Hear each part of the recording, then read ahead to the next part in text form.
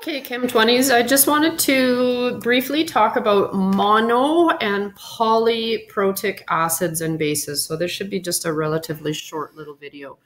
What does it mean mono? What does that prefix mean to you guys? Mono, one. So when we have a monoprotic acid, it has one acidic hydrogen atom in the formula. Why? Because it can react one time with water to make hydronium ions. So hydrochloric acid, look at the formula. 1H, monoprotic. Here's another example. Hydrocyanic, HCN, 1H in the formula. Now this guy is a strong acid, and this guy is a weak acid. So let's go to our data booklet and take a look and find some of these monoprotic acids. Okay, well, here we go, right at the very top. Perchloric acid, 1H, reacts one time with water to produce hydronium. Oh, 1H, 1H.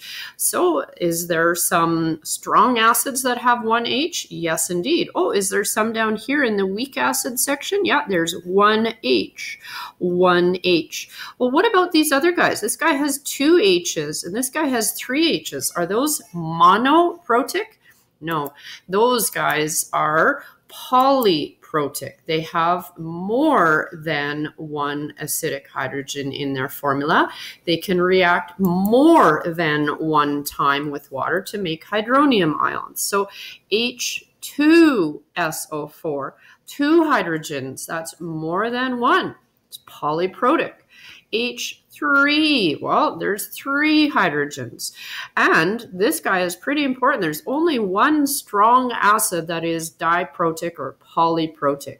The majority of these polyprotic acids, like this guy, are weak acids. Okay, and so let's just briefly take a look at our data booklet and see what we have for examples of polyprotics. Aha, here's H2SO4. Just ignore this stuff down here for a sec. Sorry about that. Oh, here's an H here and an H here. That guy is polyprotic. Oh, H2 polyprotic. Okay, and so OH3 polyprotic. All those guys are polyprotic acids. They have more than one ionizable hydrogen to react with water to make hydronium. So of course, most polyprotics are weak except sulfuric acid. We saw he's the only strong acid.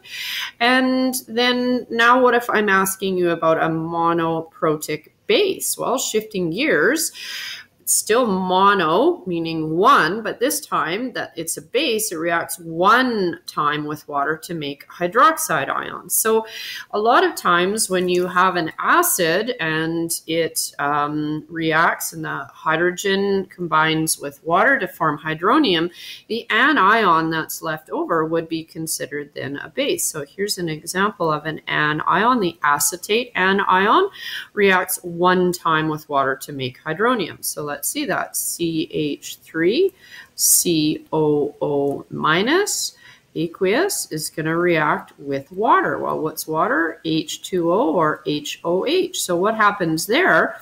Well, this is the reverse of what happens in an acid. Here, the hydrogen moves from the water onto this guy.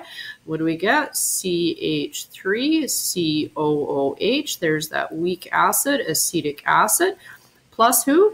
Well, plus hydroxide ion. So there's only one reaction there, right? If you could take this guy and react him one more time with water, well, you can't make, there's no such thing as CH3 COOH2 plus. That doesn't exist. So there's not going to be one more reaction with water. It's just one time reaction with water to make hydroxide.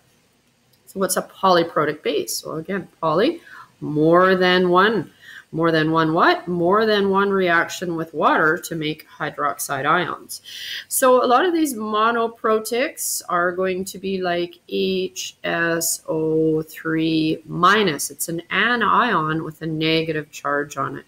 We saw CH3 COO minus. What's a polyprotic look like? CO3 2 minus.